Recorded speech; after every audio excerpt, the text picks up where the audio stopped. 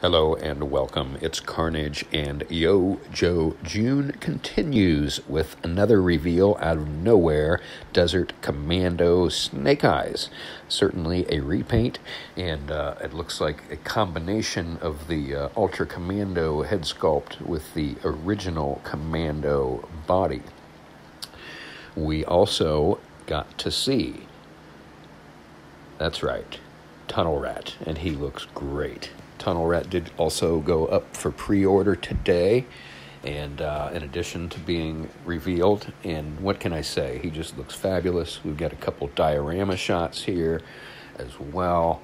What a cool loadout. He's got two flashlights that attach to his backpack, and uh, those can be pulled out.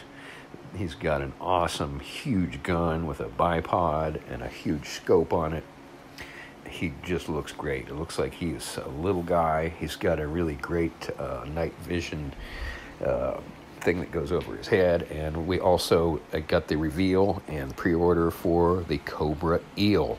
So it looks like Torpedo has some somebody to fight.